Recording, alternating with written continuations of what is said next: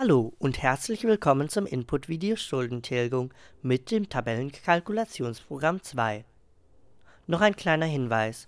Wenn du den Teil 1 aus dem Mindeststandard noch nicht angeschaut hast, solltest du dies zuerst tun.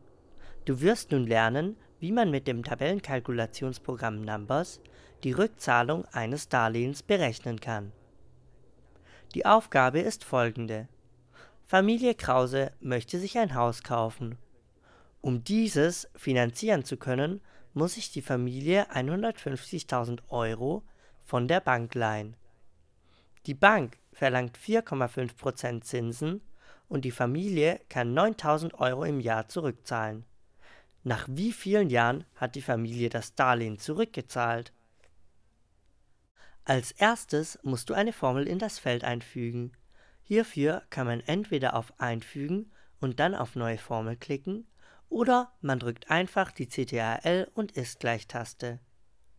Jetzt kannst du die Restschuld zum Jahresanfang angeben, also das Feld B2. Als nächstes musst du die Zinsen angeben.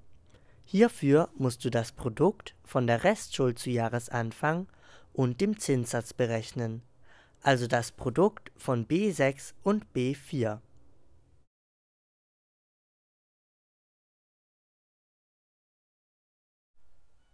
Bei der Tilgung musst du einfach die jährliche Rate B3 minus die Zinsen C6 eingeben.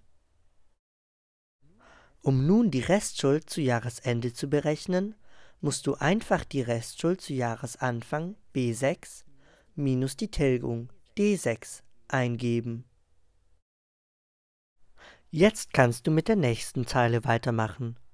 Bei der Restschuld zu Jahresanfang müssen wir einfach die gleiche Zahl wie bei der Restschuld zu Jahresende aus dem Vorjahr nehmen, also in diesem Fall E6. Bei den Zinsen musst du nun wieder in die Zeile oben die Restschuld zu Jahresanfang mal den Zinssatz eingeben, also B7 und B4.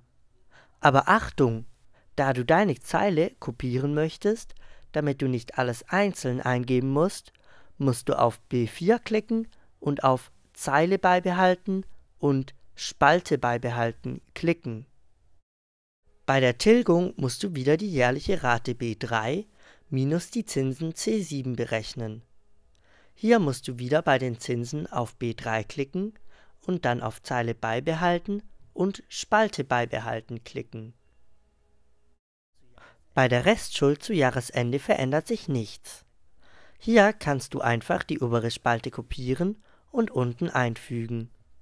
Jetzt kannst du die gesamte zweite Spalte kopieren und in alle unteren einfügen. Jetzt kannst du schauen, ab wann die Restschuld zu Jahresende im negativen Bereich ist. So lange muss das Darlehen abbezahlt werden.